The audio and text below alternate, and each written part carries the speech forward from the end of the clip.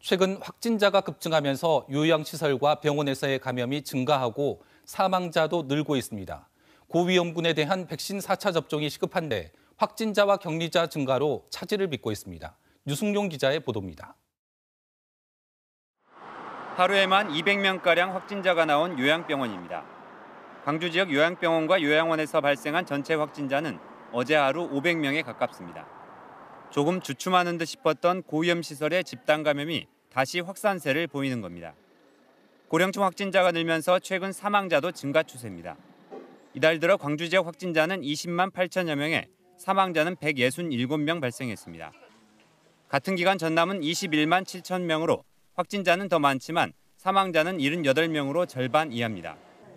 상대적으로 사망률이 낮은데 차이는 4차 백신 접종률로 추정됩니다.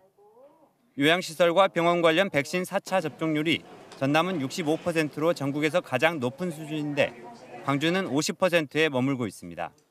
특히 요양원 입소자 접종률은 30% 수준입니다. 접종률이 낮아 감염이 확산하고 확진자와 격리자 증가로 접종을 하지 못하는 사람이 늘어나는 악순환이 이어지는 겁니다.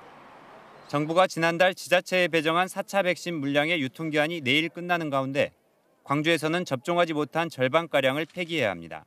확진이 되셔가지고 격리가 되셨달지 이런 분들은 접종 대상에서 제외가 되고요. 가족의 동의가 없이, 없이 강제 접종을 할 수 없는 그런 어려움은 있습니다.